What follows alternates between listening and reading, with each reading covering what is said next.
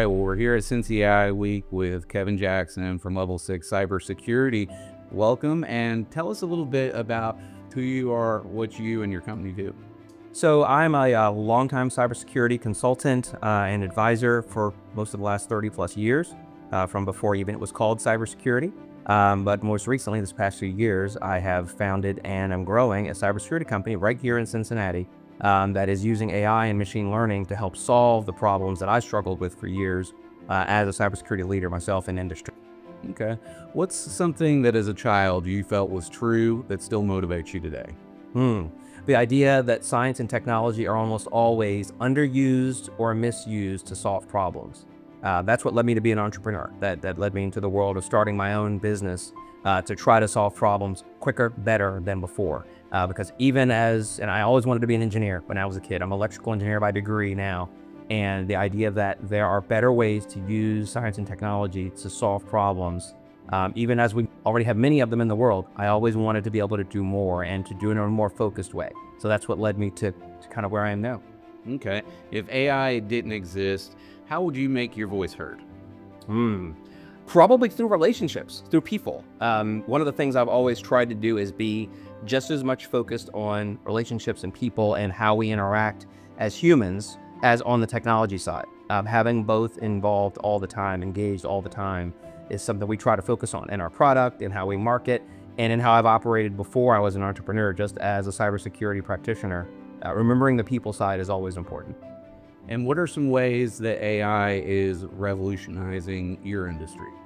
So many ways. Uh, cybersecurity is now, it's, it's only a bigger and bigger problem every day. Everyone sees the headlines all the time. The question is, why is it never getting better? Why is cybersecurity, why are the risks only getting worse?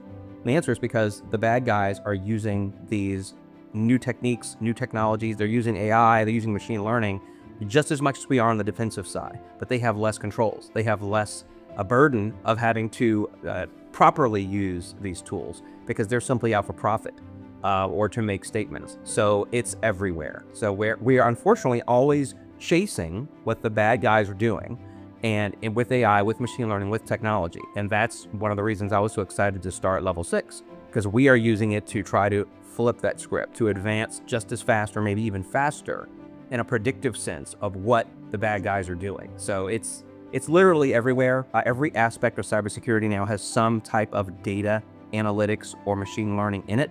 And the challenge is to keep up and to move forward and try to get ahead of the, the bad actors for a change. So, what's your honest take on AI? Is it a tool? Is it a threat? Is it something different? It's all the above. Uh, it's a tool. It's a threat. It is. It's not. We're soon going to get to the point where it's no longer the topic because it's going to be ubiquitous. That AI is embedded in technology. That it's one and the same. So it's going to become what can. What are we doing with all of that embedded technology, all that embedded learning, all of those results? How can we adapt and move beyond into what's coming next? With I think in a few years we won't talk about AI as much because as a term, it's already everywhere. We're going to then be talking about what the capabilities are that AI can do. And that's what we're trying to do. And I think in every industry that they're trying to do now is get into what's next and develop those answers now, hopefully before the bad actors can. Again, in the cybersecurity space, it's a war. It's it's a battle against what the, the people who want to destroy and tear down and steal what they are doing so that we can at least keep up, if not get ahead. Okay, and so what human qualities do you think AI can't replace? Ooh, now that's a good question. Um, many human qualities AI can't replace. AI can synthetically be emotional and it can, within its bounds, be imaginative. And that was one of the topics yesterday morning at the opening keynote was imagination. You know, that it's, we're entering the age of imagination more so than um, AI. Uh, one of the speakers mentioned that. That's where I think uh, human ingenuity can't be replaced because imagination to create AI in the first place comes from humans. And to think beyond what the data says, AI can simulate that, but it doesn't do it yet quite as well as any human can. And imagining what's beyond what the data says, where we could go, what we could do. Um, so that will change because humans were constantly adding to what algorithms can do and how they process.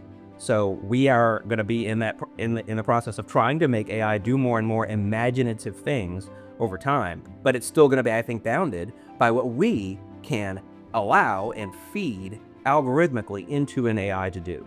So it's imagination, it's it's the create true creativity. That's I think where we're still going to be light years ahead of what AI is for the foreseeable future.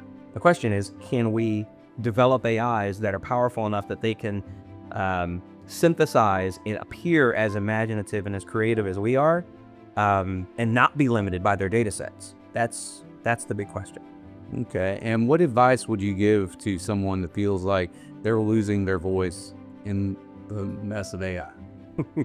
um, that's a really good question. I think the answer would be to get even more involved, is to embrace those technologies, not to run from them and not to fear them, but to embrace them and push even deeper into them. Um, know, there's always headlines about AI is going to replace your job, AI is going to replace this industry. Um, and you know, and that's in cybersecurity too. There is always this thought that eventually AI tools will make it so you don't need to have people in cybersecurity. Um, my answer to that is, is what we're doing. Let's go even further into it. Let's embrace it more and let's take our, our voice into what AI is going to be and what it's doing so that as it evolves, we're embedded in it. Uh, as opposed to being afraid of it and withdrawing and saying, well, I've got to go work in another industry. No, I think it's the opposite. I think we have to dig deeper into AI and machine learning so that we are an intrinsic part, humanity is an intrinsic part of how artificial intelligence evolves. Okay, and who do you see getting it right when it comes to blending those human components with these AI tools? So I, I don't see enough of it yet, I think is the issue. Um, the technology is advancing faster than we are, than, I don't know, in any given industry, than I see people embracing it. Um, and that I think has to change. That's why I'm so glad we have this conference. And while there's organizations that drive people to dig in further. Because right now, I think the technologies themselves are moving faster than the humans are that can take advantage of it and use it. So we, we need to keep moving and adapting fast so that in each industry, and cybersecurity is a great example, so that we are on top of what's happening and we see where it's going and we can adapt and evolve with it. Otherwise, especially when it comes to the fact that adver adversaries can use these tech, not these technologies, can use this tech. Otherwise, we're in a really bad place because then we're in an imbalanced situation where all of those developments that are happening as AI evolves, we may not even be aware of them. You know, we are a, a, a lagging indicator of what's happening in the real world, and that's not where we want to be. Okay. Tell us what's your personal superpower, that thing that AI cannot replace. That's interesting. AI can simulate enthusiasm and energy and passion, but is it, how authentic is it? You know, I've, I've been told before, but my superpower is enthusiasm, is, is energy towards a goal. Um, and that's why I've, I've survived so far as a startup founder which is an incredibly difficult thing to do, right? To start a tech company is is always hard, and here in the Midwest, it's, it's even harder. Um, but can you can an AI really be enthusiastic? Can an AI be energetic and powerful and motivated and passionate? I think it's a synthetic energy and a synthetic passion you get out of a of a chatbot of an LLM. Um, and that's going to be bounded by exactly how it's programmed, whatever the parameters are, whatever the limits are, just like you see in movies, where you know uh, artificial intelligence tries to emulate emotion but struggles to.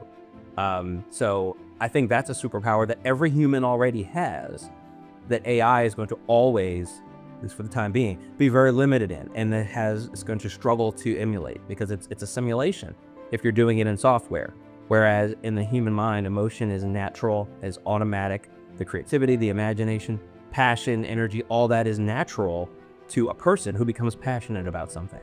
So I think that's probably, you know, that's a universal superpower that I think every person has that AI is always going to struggle with. Well, thank you for taking time out of AI Week to share it with us. Oh, happy to be here. Thanks.